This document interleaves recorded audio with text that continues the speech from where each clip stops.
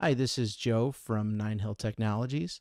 Today I'm going to talk about the new Drone Hone plugin, which is a substantial improvement from the first version of the plugin, which was kind of a proof of concept. Um, we're going to talk today about the new plugin, the UI that comes with the new plugin, the Edge Scout device, which will help improve detection rates and make detections far more uh, real time than what they otherwise would be. So before we get started, one thing we're going to do is we're going to show the new UI. We can see here um, there are no detected UAS. So we're going to go to our device manager, our internal Wi-Fi scanner, which is what is what was shipped with the first version. It's identical to that capability. And this plugin, however, we have the ability to turn that on or off, as well as some other options that we'll explore a little bit later. However, right now, we can see that that internal Wi-Fi scanner is disconnected, so it will not detect any UAS. So what we're going to do is we're going to turn on our Edge Scout, and we're just going to press and hold this button for a couple of seconds. Now, this is a demo device. Um, so as this powers up, you'll see that this blue light will emit a heartbeat, indicating that it's waiting to be connected to.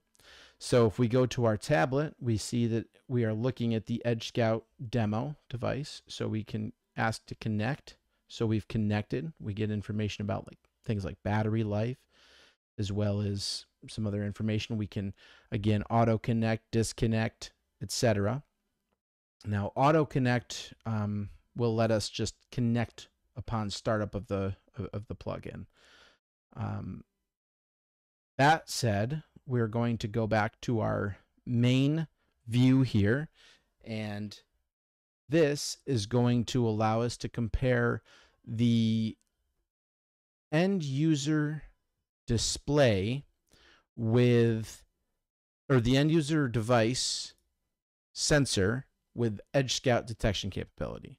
So we have as labeled the tablet, which is what we have connected to the Edge Scout, and then we have the phone, which is this device here.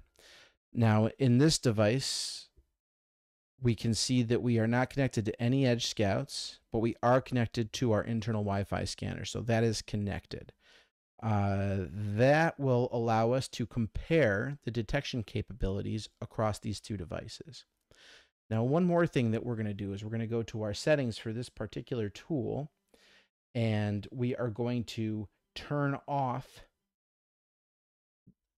sending data across external connections. So let's go to our settings and let's go to our tool preference and our specific tool preference, and we'll go to the Drone Hone plugin here, and we'll see we have a couple of options there is a stolen drone API key that you can get from Aerial Defense. There, in order to obtain a key, you can see there's a link in here, which I'll also post in the in the notes for the video, uh, as well as another uh, option which allows you to enable or disable whether or not you want to send detections across your network, your multicast or TAK server connection. So I'm going to turn that off so that the detections don't show up everywhere just yet.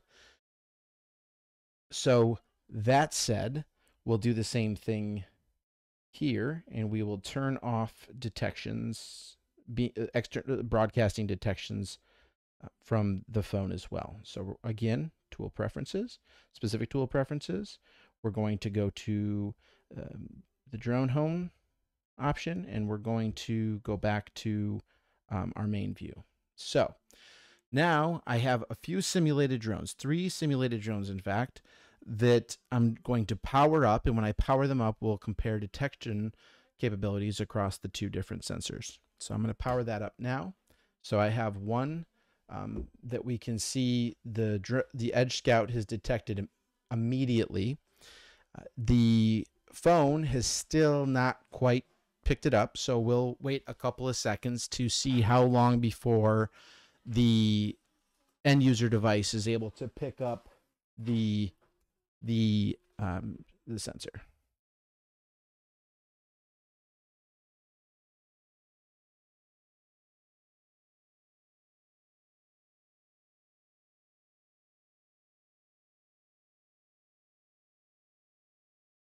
While we wait, we're going to show off some of the new information as well as the new capabilities of the Edge Scout device. So we still are waiting for the phone to detect the first drone using the internal EUD, which sometimes does just take a couple of minutes. It's intermittent. Um, it's more reliable with Bluetooth, which is not supported with the EUD just yet, but um, with certain drones like DJIs, for example, many of them are over Wi-Fi um, a, a Wi-Fi signal, which just is due to Android restrictions, un, we're unable to pick it up in in uh, in anything close to real time, which is the why we developed the Edge Scout. And as you can see, our Edge Scout device is moving pretty regularly over here. Now, what I'm going to do is I'm going to show a couple of neat things. So if I slide away and I tap on my drone, it brings me to my drone, probably as you'd expect. Shows us things like the mechanism of detection. In this case, we have the Wi Fi symbol, uh, the, the signal strength of that detection. Is a simulated drone that's very close to this device, so we would expect it to be pretty good signal. And if we tap on the little info button, we get tons more information.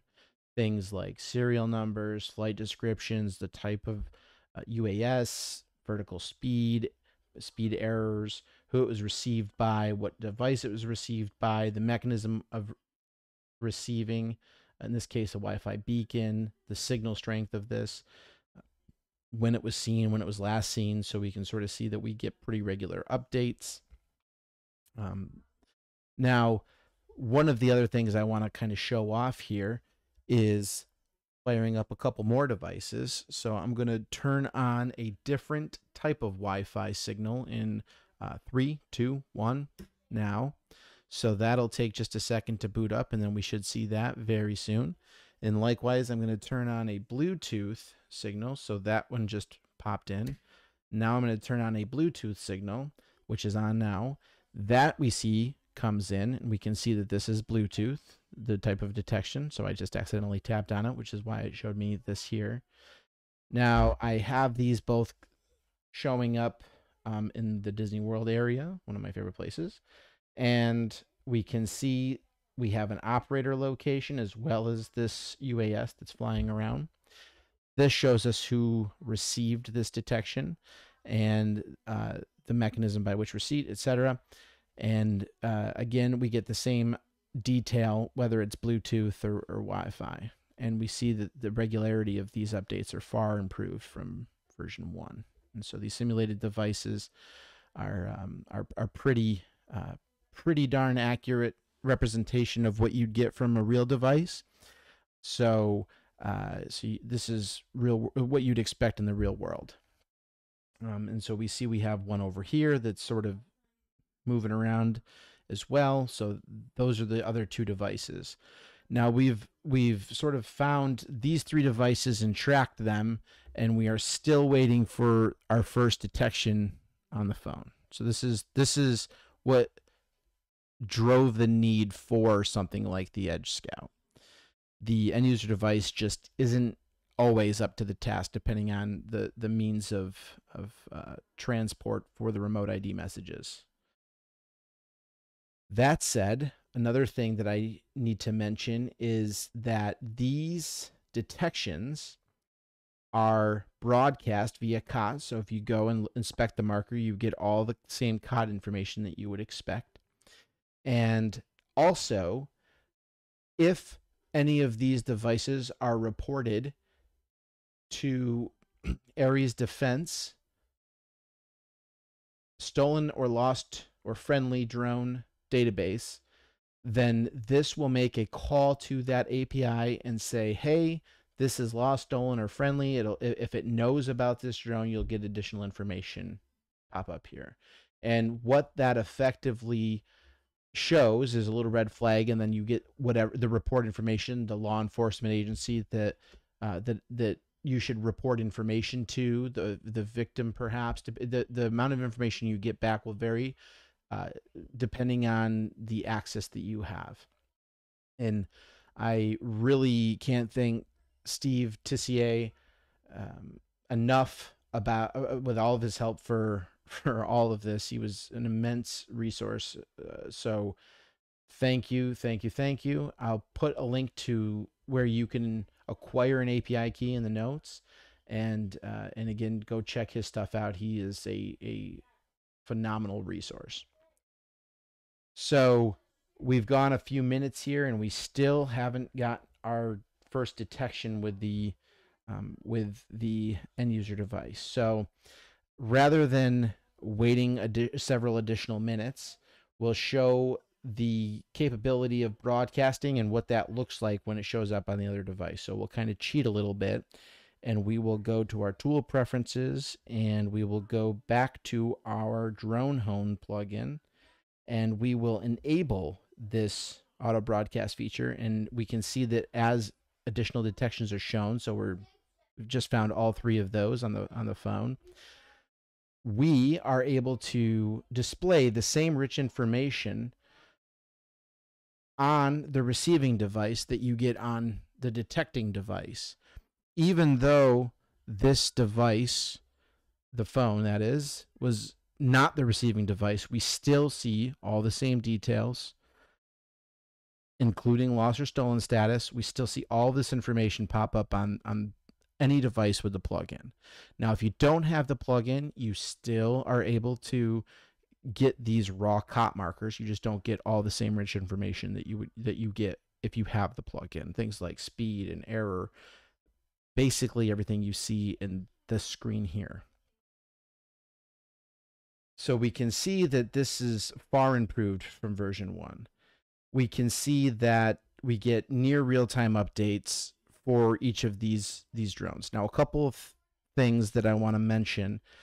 If you are using your internal Wi-Fi setup, the scanner, this internal scanner, then connecting and disconnecting this has no impact whatsoever on your ability to connect to a wireless network. It it it doesn't matter if you're connected to a wireless network, if you're connected to Wi-Fi network or not has no impact whatsoever. So so the scanning does not affect your connectivity in any way. Uh, that's probably one of the more common questions that I've gotten. Um, so that is really the the difference between these more real time uh, capabilities with the Edge Scout compared to the end user device.